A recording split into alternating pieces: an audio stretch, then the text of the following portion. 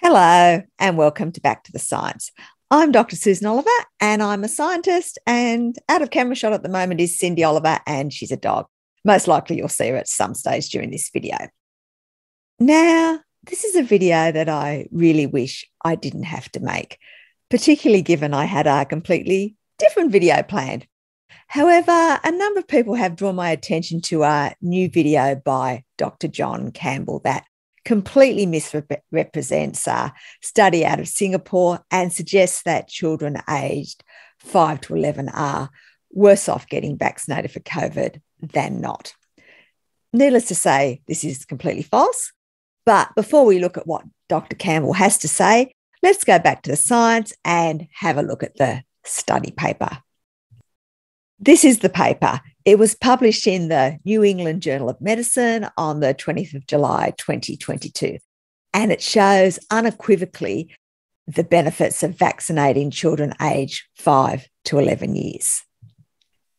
This table here shows the key findings. And the most important finding you can see in the bottom right hand corner of the table. And that is that there was an 82.7% reduction in hospitalizations for COVID amongst those children who were fully vaccinated compared with those who were unvaccinated. Another important figure is the 65.3% reduction in PCR confirmed cases. This is important because PCR testing in Singapore was only performed on children who had symptoms for more than five days or had coexisting conditions. Other children only had confirmation by rapid antigen testing. So those who had PCR confirmed disease had more serious disease.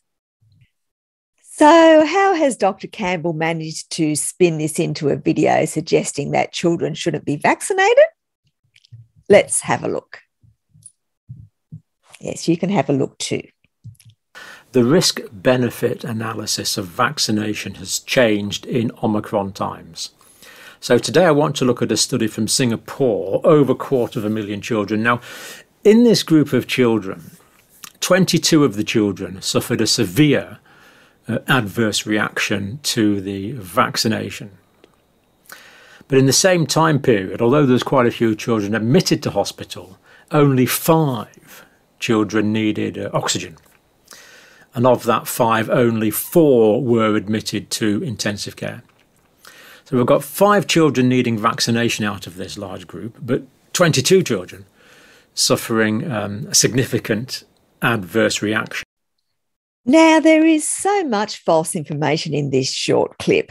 I'm really not sure where to start, but I guess I'll have to start somewhere. So I'll start with Dr. Campbell's claim that there were 22 serious adverse events caused by the vaccine. The 22 figure is referenced to this report here, which comes from the Health Science Authority in Singapore. And it's their equivalent of the VAERS system in the US, the yellow card scheme in the UK, or the TGA in Australia. And if you've been watching my channel for a while, you probably already know why the report doesn't, in fact, show there were 22 serious adverse events caused by the vaccine. As the report makes abundantly clear, an adverse event is any untoward medical occurrence in a patient administered uh, pharmaceutical product, including vaccines, but does not necessarily have a causal relationship with this treatment slash vaccination. And that's a direct quote from the report.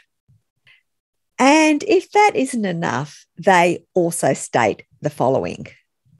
It is important to note that the AEs reported do not necessarily mean that the vaccine has caused these AEs, as they may be related to an underlying or undiagnosed disease or the natural progression of an underlying disease. It may be coincidental that the event occurred around the same time when the vaccine was given, but is not caused by the vaccine. As I explained in my previous video on vaccines being the leading cause of coincidence, health authorities compare the incidence of adverse events occurring after vaccination with the background rate in the population to determine if an adverse event is likely to have been caused by the vaccine or if it's more likely to just be a coincidence. And we know that myocarditis has been shown to be associated with mRNA vaccines from this analysis. So, how many of the 22 serious adverse events that occurred after vaccination were myocarditis?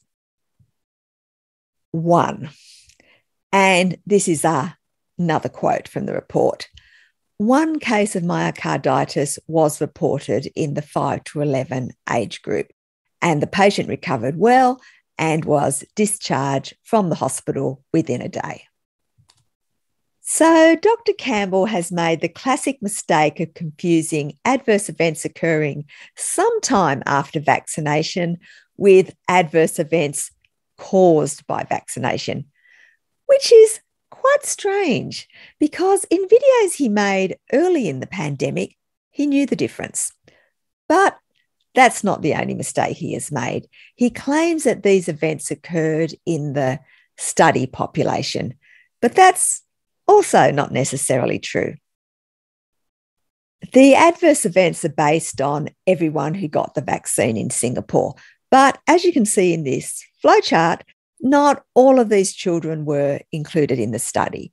Over 14,000 children were excluded from the study because they didn't meet the criteria.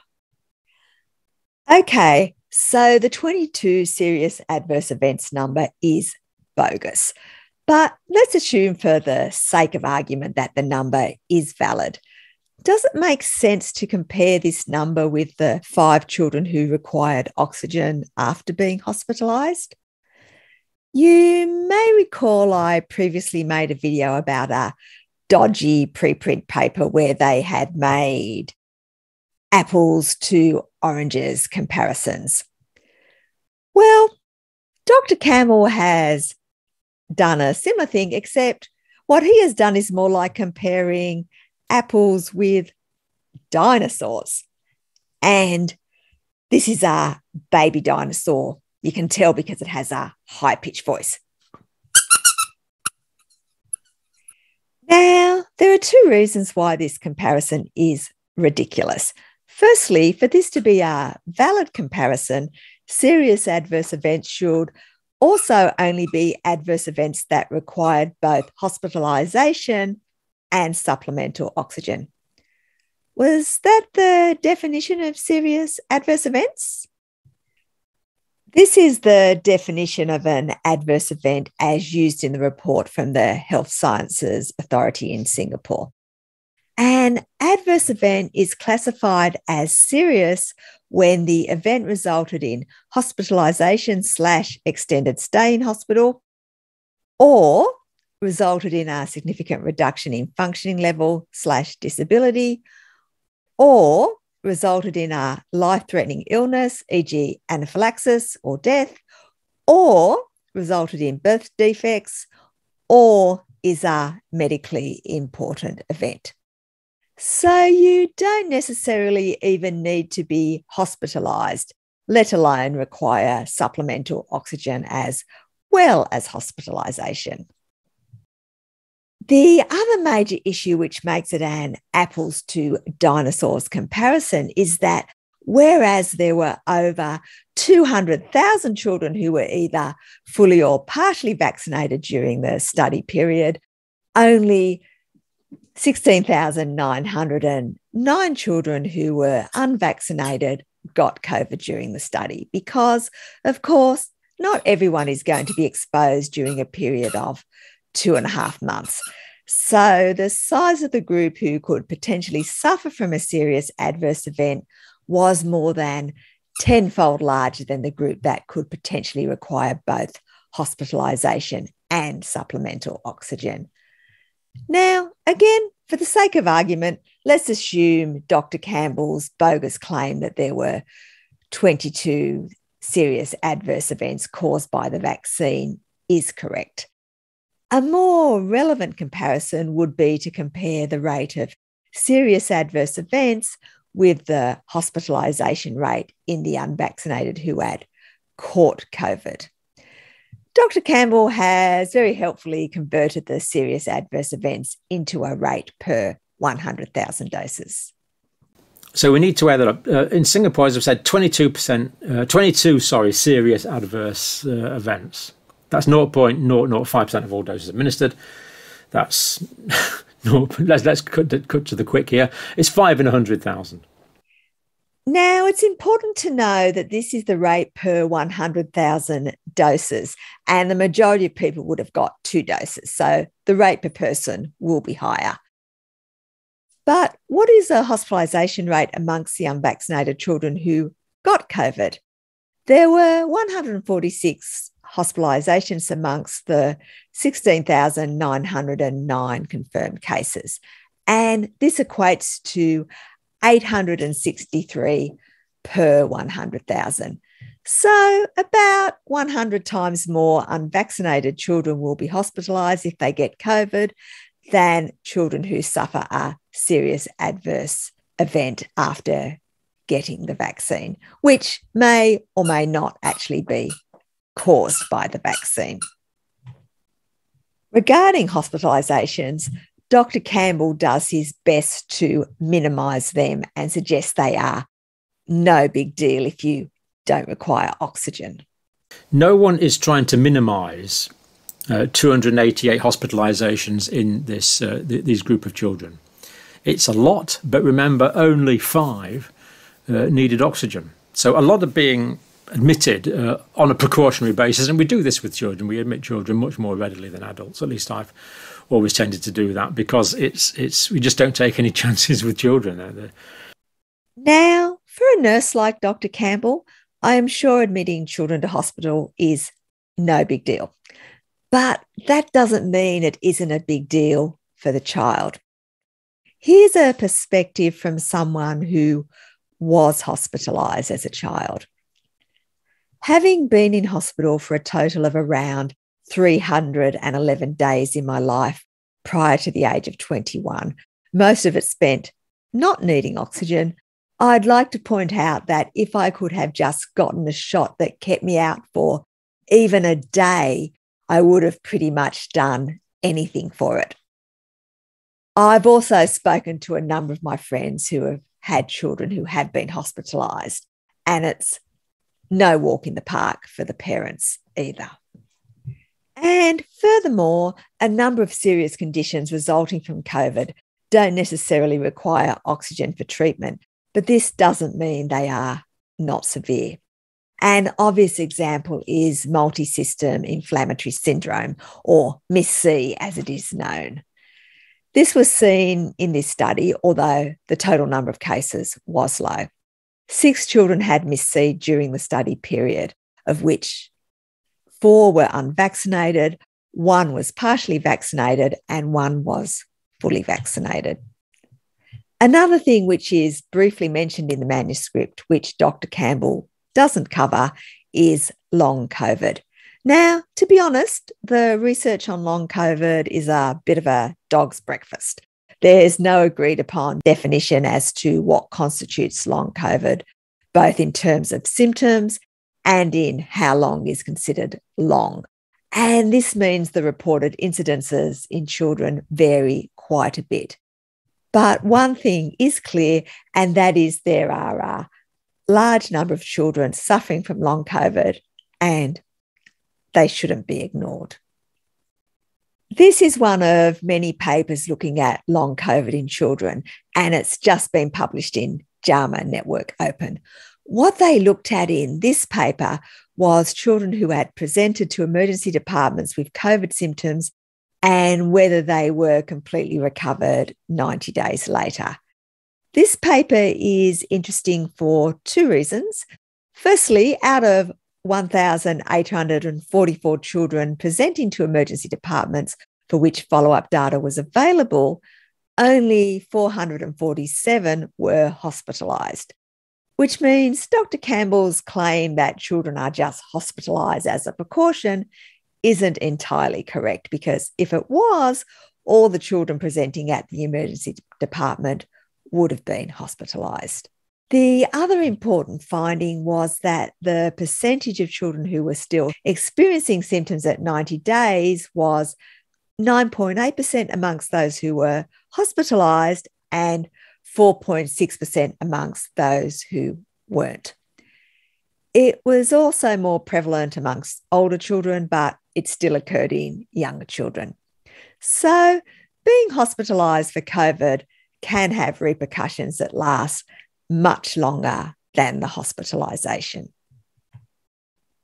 And of course, there is something much worse than hospitalisation that can happen when you get COVID, and that is you can die. Thankfully, the death rate is much lower in children than what it is in adults, and no deaths were seen during the study period. But low deaths doesn't mean no deaths, and some children do die from COVID. In fact, in the USA, there have been 429 deaths from COVID in children aged 5 to 11 since the start of the pandemic. And as you can see from the figure, there has also been a large number of deaths in other child age groups. And despite some people claiming that Omicron is mild, children are still dying of COVID. There have been 330 deaths amongst children in the US so far this year. Of course, these numbers are much lower than what we see amongst adults, particularly older adults, but the number of acceptable deaths amongst children should be zero. Children should not die for any reason. As I said at the beginning of this video, I really wish I didn't have to make it. In fact, I wish I didn't have to make videos debunking misinformation at all. It would be so much nicer to just make videos communicating science. And I would also get much less abuse. But unfortunately, spreading misinformation has consequences. And so it needs to be called out so that its damage can be minimized. Dr. Campbell's misinformation is particularly dangerous because he was once a source of fairly good information. And because of this, a lot of people trust him. And a lot of people following him just don't have the expertise to realize that he is now spreading misinformation. If you'd like to look further into the data that I've presented, I've provided links in the video's description. And please remember this video is about the science, but you shouldn't take it as medical advice. For that, you should speak to your medical practitioner. Thank you for listening. If you found this video useful, please hit the like button so that YouTube will share it with more people. And if you'd like to see more videos about the science in the future, please hit the subscribe button.